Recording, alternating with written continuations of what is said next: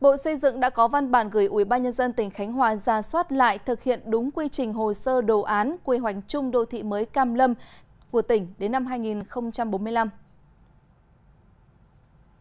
Nhiệm vụ quy hoạch chung đô thị Cam Lâm đã được Thủ tướng Chính phủ phê duyệt. Tuy nhiên, đồ án quy hoạch chung đô thị Cam Lâm đến năm 2045 chưa lấy ý kiến của cộng đồng dân cư theo quy định, chưa bám sát các quy định tại khoản 2 điều 33 Nghị định số 37 của Chính phủ ý kiến góp ý của các sở, cơ quan liên ngành tại địa phương và cộng đồng dân cư cho đồ án quy hoạch cần được tổng hợp đầy đủ, giải trình, tiếp thu theo quy định tại khoản 4 điều 20 Luật Quy hoạch đô thị năm 2009. Bộ Xây dựng đề nghị Ủy ban nhân dân tỉnh Khánh Hòa nghiên cứu, chỉ đạo thực hiện đầy đủ về thành phần hồ sơ, trình tự, thủ tục theo quy định của luật để Bộ Xây dựng có đủ căn cứ tổ chức thẩm định.